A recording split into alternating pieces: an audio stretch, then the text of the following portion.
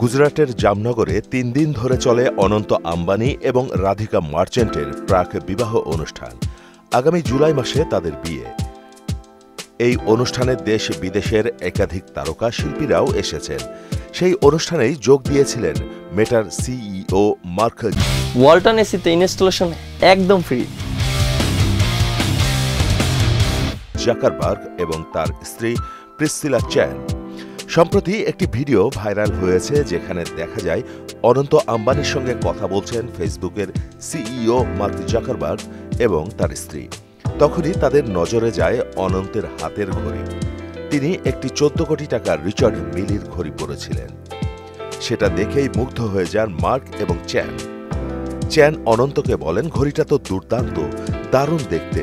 সেটা শুনে মার্ক সম্মতি জানিয়ে বলেন হ্যাঁ আমি ওকে আগেই বলেছি। এরপর তিনি জানান, আমি কখনো ঘড়ি কিনতে চাইনি কিন্তু এটা দেখে মনে হচ্ছে ঘড়ি বেশ দারুণ একটা ব্যাপার। আমারও এটা চাই। মাহমুদ হোসেন, মোহনা টেলিভিশন।